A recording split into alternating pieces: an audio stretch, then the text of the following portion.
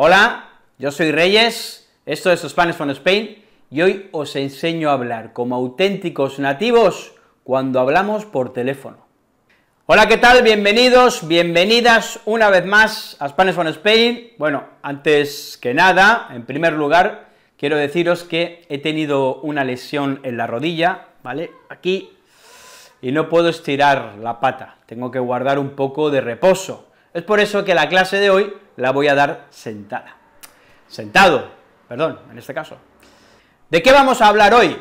Pues vamos a hablar de expresiones que usamos los nativos, los españoles, aquí en España, por lo menos, que yo sepa, cuando hablamos por teléfono. Fórmulas para hablar por teléfono que son muy comunes. Pero antes que todo, antes que todo, ¿por qué no gastamos una broma por teléfono? ¿Os parece? Venga, dígame. ¿Es el verdugo? Sí. No me cuelgue, por favor.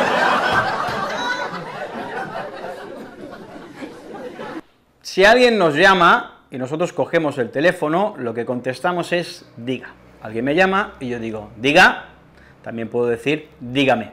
Es una forma cortés, yo no sé quién me está llamando, no quiero sonar brusco, y por lo tanto lo que utilizo es el diga, pues también podemos utilizar el dígame. Diga, dígame. Diga. Hemos visto qué tenemos que decir cuando cogemos el teléfono. Pero ¿qué pasa si somos nosotros los que llamamos? ¿Qué decimos? Bien, si estamos, si llamamos a un amigo, llamamos a un amigo a su casa, lo más común que podríamos decir es está. ¿Está Paco? ¿Está Paco? Soy Reyes. Dile que se ponga. ¿Mm?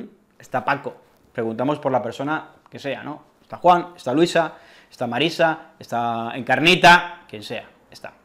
Si lo que queremos es ser más corteses, lo que decimos es, mm, eh, me gustaría hablar con Paco, más formal todavía, me gustaría hablar con don Francisco, ¿Mm? digo don y le digo Francisco, en lugar de Paco, que es una expresión más coloquial, un nombre más coloquial me gustaría hablar. También podría utilizar el podría, que es también muy educado. ¿Podría hablar con don Francisco, por favor? ¿Veis eh? estas expresiones? Está más coloquial, me podría pasar o me gustaría hablar con esa persona. Eh, por favor, eh, quisiera hablar con el señor alcalde. Si yo cojo la llamada, si yo cojo la llamada y me preguntan por alguien y yo tengo que pasarle el teléfono, lo que voy a hacer es preguntarle, pues, quién es esa persona, ¿no? Si es eh, coloquial, si es el teléfono de casa, si parece que es un, amigo de mi hija, de mi hijo, pues digo, ¿quién eres? ¿Mm? Pues común también decir, ¿de parte de quién? ¿De parte de quién? Es decir, la otra persona me dirá quién es. ¿Se puede poner, eh, Reyes? ¿De parte de quién?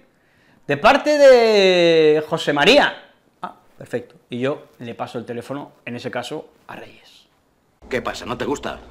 Si queremos ser más formales, porque estamos en el trabajo y, bueno, nos puede llamar un cliente importante, pues le, diríamos, si fuera eh, tan amable de decirme su nombre para indicarle a, don Francisco eh, su nombre, para decirle quién es usted, ¿eh? y yo digo, si fuera usted tan amable, ¿no? Si fuera usted tan amable de decirme su nombre para dirigirme a usted o para pasarle a otra persona, esta es una expresión que es más educada, es más polite, que dicen los americanos, los ingleses. Para mí no es solo la chica la que cuenta, sino toda la familia, el padre, la madre. Me gustan las chicas con padres educados. Vamos a ver verbos que utilizamos, que son muy, muy comunes cuando hablamos por teléfono. El primero es coger. Ya sabéis que en España coger no es un verbo controvertido, lo que hacemos es coger el teléfono. Coge el teléfono, ¿eh? o coge la llamada. Si alguien llama a mi teléfono y yo no puedo coger el teléfono, le puedo decir a alguien, coge tú el teléfono, o coge la llamada, ¿vale? Es un verbo, por lo tanto, muy común y que no es controvertido en España, coger. También podemos utilizar pasar, pásame el teléfono, se llaman al teléfono de casa, y preguntan por ti, Reyes, es eh, un compañero de trabajo que pregunta por ti. Yo le digo a la persona que tiene el teléfono, pásame el teléfono, pásamelo, o esa persona me dice, Reyes, preguntan por ti, te paso el teléfono, y me pasa el teléfono. Otro verbo muy común. Un verbo importante también es colgar, ¿vale? Colgar. Cuando yo acabo de terminar de hablar con alguien, sí, sí, vale, nos vemos, hasta luego, cuídate, chao. Lo que hago es colgar, cuelgo, es decir, termino la llamada, colgar. Lo utilizamos con el teléfono y también lo podríamos utilizar con una aplicación o con una, sí, con una aplicación en el móvil o en el ordenador para hablar, por ejemplo, Skype o Zoom, ¿no? Yo lo que hago es, pues, eh, colgar la aplicación. Y os había avisado de coger, pero bueno, coger el teléfono también es darle, ¿no? Cógelo, es decir, cogerlo es físicamente cogerlo en la mano, tenerlo, pero también es darle al botón para que empiece, empecemos a tener la conversación y para que yo pueda saber quién es la persona que llama al otro lado del teléfono, ¿no? Coge el teléfono, ¿vale? Entonces, coger, pasar, hemos visto, llamar, por, supuesto, por supuesto eh, llamar, voy a llamar a mi prima, sabéis que yo digo yo me llamo Reyes, ¿eh? es eh, bueno, no es reflexivo, es pronominal, yo me llamo Reyes, pero cuando utilizamos llamar, es que yo lo que estoy haciendo es ponerme en contacto, comunicarme con otra persona, ¿no? Yo llamo a mi prima, yo la llamo, la llamo por teléfono.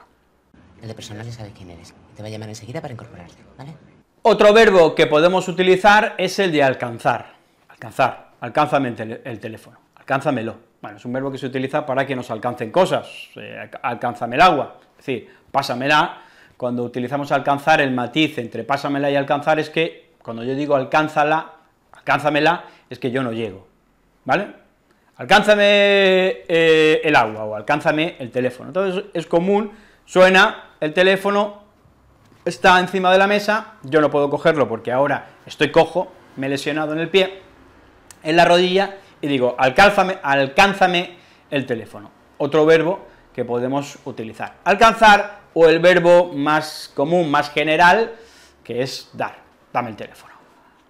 Fijaos, una cosita, iba a terminar, pero importante, dar, también damos el número de teléfono. Si yo conozco a alguien y, o estoy en el trabajo y necesito el número de teléfono de alguien, pues yo se lo pido, y lo que le digo es, dame tu teléfono, ¿vale? Es el, verbo más común cuando necesitamos un teléfono y queremos saber el número, ¿no? Decimos, dame tu teléfono. Bueno, es curioso porque es... Eh, esto entraría, forma parte de la gramática, porque literalmente, si yo digo dame el teléfono, él o ella tendría que darme el teléfono, pero lo que queremos decir cuando decimos dame el teléfono es que nos dé, digamos que es una metáfora, que nos dé su número, no el teléfono, obviamente. Hola, buenas. Mire, quería saber el número de teléfono de una persona que vive en la avenida de la Concepción 44. Puestos a acabar, hemos empezado con una broma telefónica, lo que podemos hacer ahora también es terminar con una broma telefónica. ¿Os parece? Venga. Dígame, ¿es el 999-999-9999? No, es el 666-666-666-66. Lo siento, he puesto el teléfono al revés.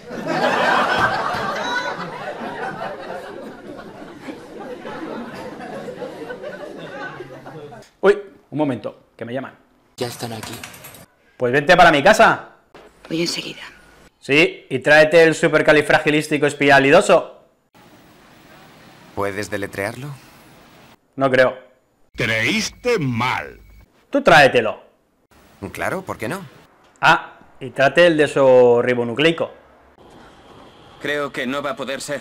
No pasa nada, ahora nos vemos. Torticierro. Adiós. Sí, amigos, voy a centrarme un poco para estar más centrado. Es un juego de palabras, porque centrarse es ponerse en el medio, pero también es concentrarse, eh, enfocarse en algo, enfocar tu ánimo, eh, tu concentración en algo. Este, esto ha sido todo por hoy, vídeo para hablar por teléfono con, eh, pues, expresiones que utilizamos siempre, con fórmulas específicas, concretas, para hablar por teléfono. Espero que haya sido útil. Si es así, le dais al like, compartís y os suscribís. Aquí, Spanish for Spain, probablemente el mejor canal para aprender español. Bueno, un amigo esta semana, uno de mis estudiantes, me dijo, Reyes, eh, hay problemas con el micrófono, con el sonido. Yo he puesto el sonido eh, amigo, donde me has indicado, ya me dices, a ver cómo funciona. Esta es una de las cosas buenas que tiene pues, eh, el hecho de formar parte de una comunidad, es que siempre hay gente que me ayuda, me da feedback o, sencillamente me da consejos sobre cosas que yo no controlo, como los aspectos técnicos relacionados con, el sonido. Cuando uno se hace youtuber y decide meter eh, contenido en YouTube, uno piensa, bueno, yo soy profesor de español, eh, pero mm, en realidad necesitas saber cosas técnicas sobre cámaras, sobre iluminación, sobre sonido, es, un lío, pero merece la pena, porque ayuda a mucha gente a aprender español.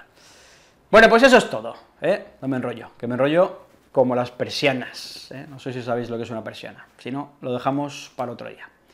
Que tengáis una buena semana, la vida puede ser maravillosa, os quiero, cuidaros mucho, chao, un beso.